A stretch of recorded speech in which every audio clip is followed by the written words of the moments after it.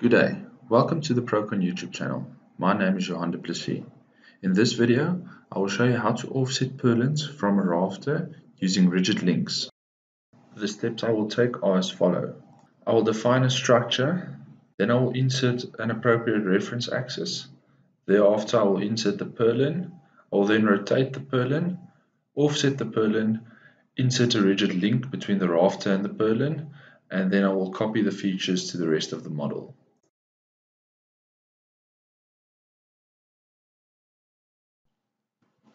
I will now insert the reference axis.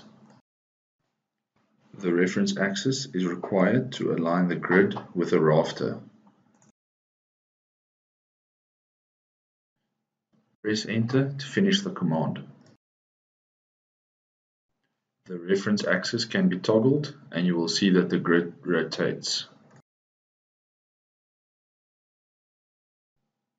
Next, I will insert a purlin.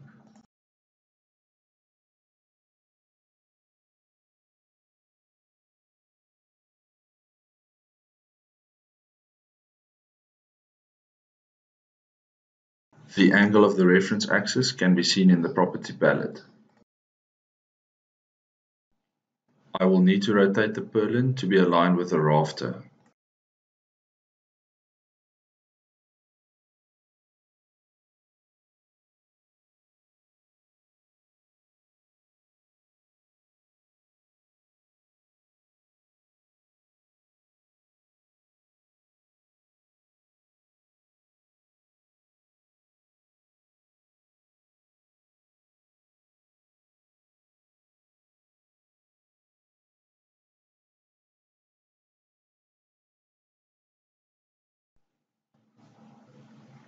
Next, I will offset the purlin to be flush with the rafter. Pressing tab will allow you to input the offset dimension.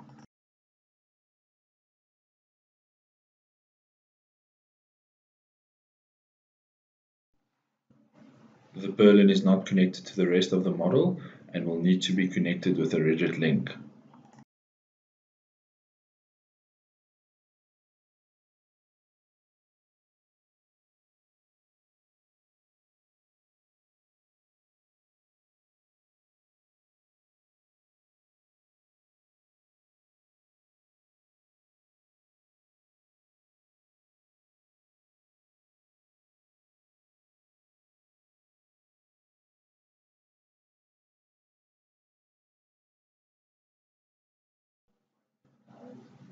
Finally, I can copy the new features to the rest of the model.